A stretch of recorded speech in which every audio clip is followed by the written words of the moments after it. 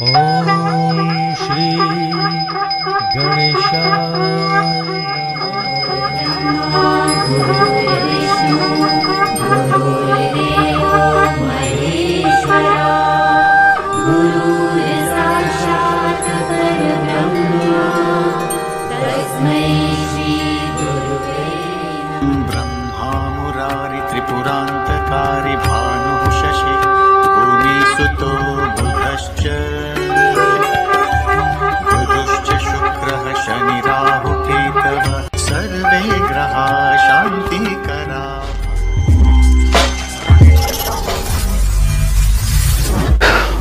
ओम श्री गणेशाय नम। नमस्कार दर्शक बिनहरू स्वदेश विदेश र संसारको खुनामा छरिएर बस्नुहुने सम्पूर्ण बुबा आमा दाजुभाइ दिदीबहिनीहरू जति पनि हुनुहुन्छ यहाँहरूप्रति मेरो हार्दिक नमन र हार्दिक स्वागत छ। आज म विशेष रूपमा यहाँहरूको लागि सूर्य अस्तपछि भइसकेका जन्मिसकेका व्यक्तिहरू सूर्य अस्त भइसकेर जन्मिसकेका व्यक्तिहरूको स्वभाव जीवन के कस्तो रहने गर्छ आज समग्रमा यी कुराहरू लिएर उपस्थित भएको छु। भिडियो कुन देशबाट कुन ठाउँबाट कहाँबाट हेर्दै हुनुहुन्छ कमेन्ट बक्समा कमेन्ट गर्नुहोला।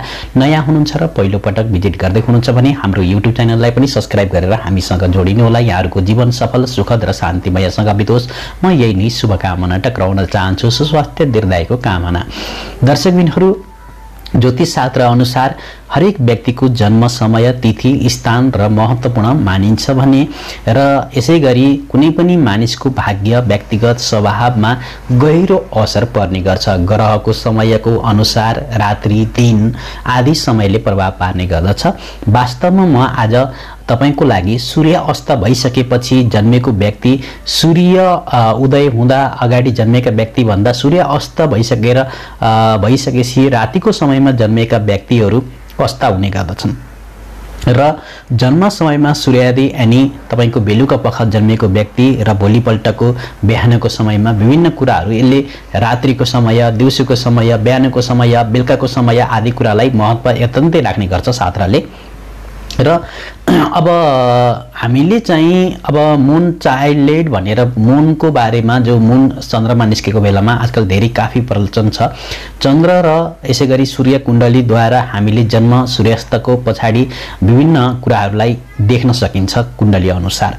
र आज सूर्य अस्त भइसकेपछि जन्मेका व्यक्तिहरूको सम्बन्ध जसरी तपाईँको कुण्डलीमा सूर्य अस्त या भइसकेपछि चन्द्रमा निस्किसकेपछि जन्मेका व्यक्तिहरूको समयमा हामीले समय अनुसार हेर्दा जन्म समय अनुसार सूर्य अस्तको बिचमा भएको यदि व्यक्तिको जन्म सूर्य अस्त पछि जन्मेका व्यक्तिको कुण्डली अनुसार यहाँ विभिन्न कुराहरूलाई प्रभावित बढी मानिन्छ जसको कारणले गर्दाखेरि यस्ता व्यक्तिहरू विशेष रूपमा कुण्डलीमा अब ग्रहको अवस्था सूर्यको अवस्था यसै गरी चन्द्रमाको अवस्था हेरेर पनि पत्ता लगाउन सकिन्छ। आज म तपाईँलाई सूर्य अस्त भइसकेपछि जन्मेसी व्यक्तिको चन्द्रमाको प्रभाव शुक्रको प्रभाव मङ्गलको प्रभाव अधिक हुने गर्दछ भनेर शास्त्रले बढी विश्वास गर्छ भने राहु देवगुरु बृहस्पति काफी प्रभावित हुने गर्दछन्। सूर्य अस्तपछि जन्मेका व्यक्तिहरू जिन्दगीमा खुसी धन प्रवाह निरन्तर बनिरहन्छ र आज विस्तार रूपमा हामी यसबारेमा कुराकानी गर्दै गर्दै अगाडि बढ्नेछौँ। फेरि पनि भिडियो कुन देशबाट कुन ठाउँबाट कहाँबाट हेर्दै हुनुहुन्छ। कमेन्ट बक्समा कमेन्ट गरिदिनु होला। नयाँ हुनुहुन्छ र पहिलो पटक भिजिट गर्दै हुनुहुन्छ भने युट्युब च्यानललाई सब्सक्राइब गरेर हामीसँग जोडिनु होला। यहाँहरूको जीवन सफल सुख शान्तिमयसँग बितोस्। दर्शकबिनहरू हामीले कसरी पत्ता लगाउन सकिन्छ? चन्द्रकुण्डली हो या सूर्यकुण्डली? दिउँसोमा जन्मेको व्यक्तिलाई सूर्य कुण्डली रातिमा चन्द्र जन्मेको व्यक्तिलाई चन्द्र कुण्डली अनुसार फलित गरिन्छ। र हामीले सूर्य र चन्द्र कुण्डलीमा कुरा गर्दा सिधा सरलमा कुण्डलीमा सूर्यको स्थिति र तपाईँको कुण्डलीको अवस्था हेरेर र उदित लग्नमा हेरेर र सूर्यको मद्दतबाट विशेष रूपमा कुण्डलीलाई हेरेर र चन्द्र आधारितमा कुण्डलीलाई हेरेर सूर्यको र चन्द्र चन्द्रको दशालाई हामीले विभिन्न जानकारी पत्ता लगाउन सकिन्छ। र यो कुण्डली अनुसार सूर्य आधारित चन्द्रको बारेमा थुप्रै तपाईँका देखिएका छन्। जो व्यक्ति सूर्य लग्नमा यदि जन्मेको छ भने दिउँसोको समयमा त्यो छुट्टै प्रकारको हुन्छ। आउनुहोस्। आज म सूर्य अस्त भसी जन्मेका व्यक्तिहरूको विशेष केही कुराहरू अत्यन्तै महत्त्वपूर्ण कुराको बारेमा कुरा गर्नेछौँ। जो व्यक्ति सूर्य अस्त भइसकेर जन्मन्छ त्यो व्यक्ति धेरै भावुक हुन्छ। किनकि चन्द्रमाको प्रभाव हुन्छ। चन्द्रमा मनको कारक ग्रह हुन् र अत्यन्त भावुक र सङ्कोची चिजहरूमा छिट्टो स्वीकार गर्नेवाला व्यक्ति हुन्छ।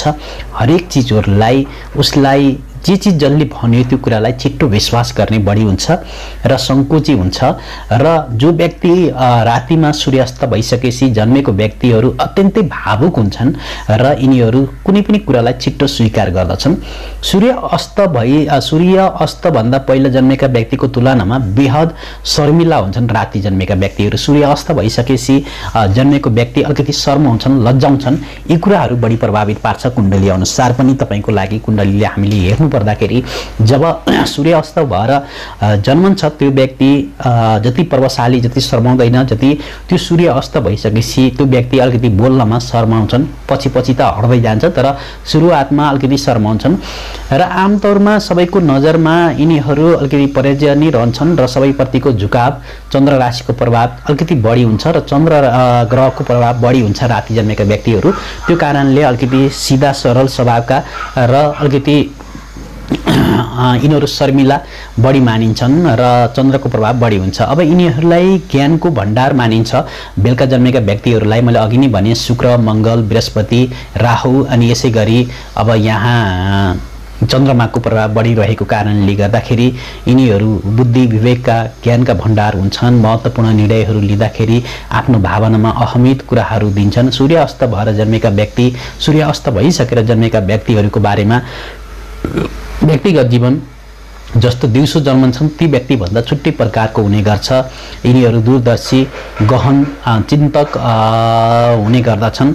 यस्ता व्यक्तिहरू बुद्धि विवेकहरू हुने गर्दछन् र यिनको बुद्धि अत्यन्तै तेज हुने गर्छ। आफ्नो साथी इष्टमित्र बिचमा यिनीहरूलाई एकलौत व्यक्तिको रूपमा पनि प्रभाव पार्छ।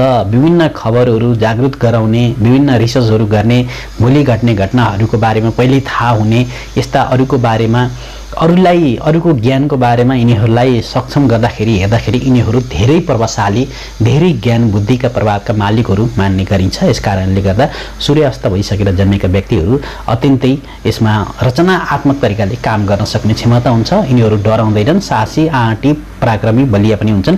कुनै तरहको राय लिनु अगाडि यिनीहरूलाई सानो सानो कुरामा ध्यान दिन मनपर्छ र ध्यान दिएर काम गर्छन्। आत्तिँदैनन् हतारिँदैनन्। सूर्यास्तपछि जन्म भएका व्यक्तिहरू मेहनती र कुनै पनि इच्छा पूर्ण गर्न सक्ने र त्यो शक्तिहरू राख्दछन् र यिनीहरू खुब पैसा धन सम्पत्ति कमाउन पनि सफल बन्छन् र जसको कारणले गर्दाखेरि यिनीहरू जीवनमा थुप्रै प्रगतिको साथसाथ अगाडि बढ्ने गर्छन्। यिनीहरू ज्ञान बुद्धिका भण्डार भएर धन सम्पत्तिका पनि मालिक हुने गर्छन् र यिनीहरूलाई आत्मबलको वृद्धि अवश्य नै हुन्छ। चन्द्रमाको कारणले गर्दाखेरि यिनको मन हृदय सफा हुन्छ यिनीहरू छलकपट्टिहरू जान्दैनन् र यिनीहरू राम्रो हृदय खुल्ला विचारका मानिन्छ राम्रो छ त्यस्तो नराम्रो मानिँदैन। दर्शक बिनहरू यो एउटा सानो जानकारी थियो तपाईँलाई भिडियो कस्तो लाग्यो कुन देशबाट कुन ठाउँबाट कहाँबाट हेर्दै हुनुहुन्थ्यो कमेन्ट बक्समा कमेन्ट गरिदिनु होला नयाँ हुनुहुन्छ र पहिलो पटक भिजिट गर्दै हुनुहुन्छ भने युट्युब च्यानललाई सब्सक्राइब गर्नुहोस्। राधे राधे ओम नमः शिवाय हर हर महादेव। हामी फेरि अर्को भिडियोमा उपस्थित हुनेछौँ। जय माताजी।